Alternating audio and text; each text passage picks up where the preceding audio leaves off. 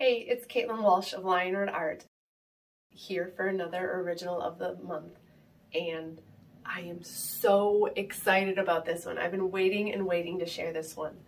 This is the tricuspid valve, uh, as we probably all know, but this is one of my absolute favorite paintings I've ever done. I feel like the prints of it just don't do it justice.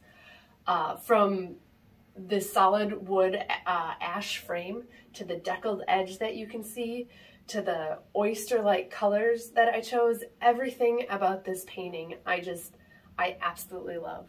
I took a photograph of an actual oyster as uh, my inspiration for the palette and the style of the painting and I wanted it to have that almost ocean-like feel to it and I, I think that uh, I succeeded.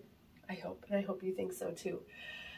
It's one of my favorites also because it's it's very accurate in the way that it depicts the tricuspid valve, uh, but it doesn't look tricuspid valve-y or heart-y or dissection-y. It, it, just looks like a, I think, a beautiful, oceany, calming, soothing painting that would um, look fantastic in any office or even any living space.